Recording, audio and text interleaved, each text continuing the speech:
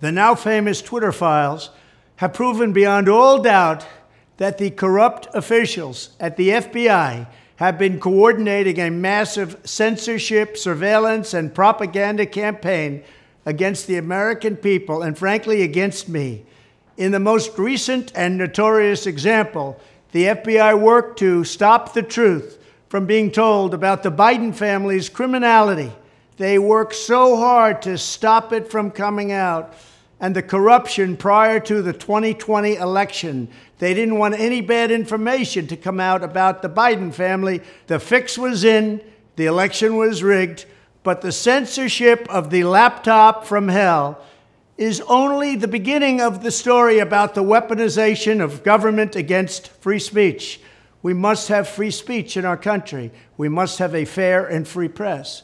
As recent reporting shows, the FBI and other rogue agencies have been systematically colluding with former national security officials placed in high positions at Twitter and very likely other companies to advance their censorship regime, which is really, in this case, to steal an election. This anti American effort, and a very illegal effort at that, has been working to silence dissenting opinions on COVID and crucial issues on public health and on the election and elections in the future. They suppressed doctors and health experts who dared to question approved public health narratives. They censored voices who criticized school closures, lockdowns, and mandates.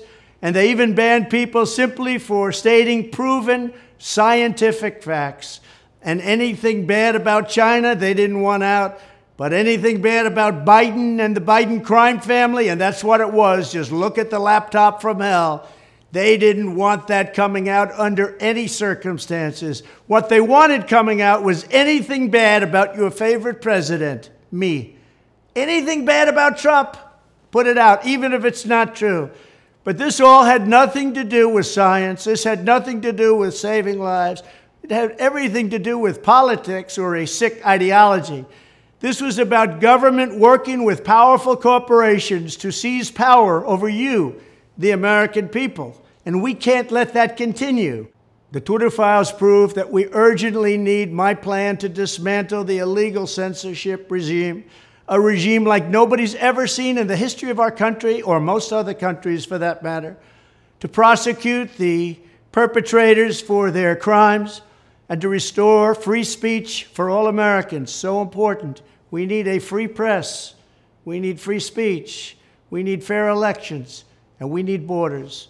The new Congress should immediately hold hearings to investigate the role of the FBI and other federal agencies in censoring lawful speech. Congressional leaders should promptly issue subpoenas in furtherance of this goal. The revelations also highlight why my proposal to end the revolving door between the deep state, and there is a deep state indeed. I wasn't a believer, but everybody's a believer right now, and the tech tyrants is so important.